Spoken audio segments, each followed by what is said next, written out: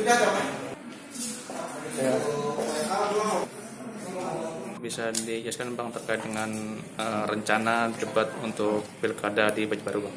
Ya, untuk debat di kota Banjarbaru insya Allah akan tetap akan kami selenggarakan gitu kan dengan apa eh, tetap memenuhi ketentuan protokol COVID yang ketat gitu kan. Kemudian untuk waktu kami belum apa belum memastikan kapan waktunya, cuman kemungkinan akan kami laksanakan bulan November uh, bulan November 2020 dan kita laksanakan selama tiga kali. Jadi tiga kali debat ini pertama debat antar calon wali kotanya, kemudian debat antar wakil wali kotanya dan debat antar pasangan calonnya.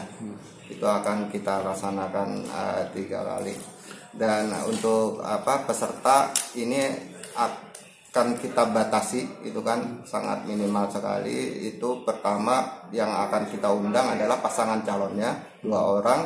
Kemudian tim kampanyenya hanya empat orang jadi total dari apa rombongan undangan untuk paslon itu ada enam orang, ditambah Bawaslu dua orang dan KPU sendiri lima orang. Bang untuk larangan sendiri Pak ini kan masih pandemi COVID-19 Bang mungkin ada ya, larangan khusus. Larangan yang jelas eh, paslon tidak diperkenankan, tidak diperkenankan untuk membawa apa tim pendukung itu kan, baik di tempat acara ataupun tidak eh, di luar tempat acara sehingga uh, kerumunan yang terjadi itu dapat kita hindarkan gitu kan. Uh, saya berharap juga kepada paslon menghimbau kepada tim pendukungnya itu kan untuk bisa menyaksikan acara debat di apa uh, di posko masing-masing gitu kan.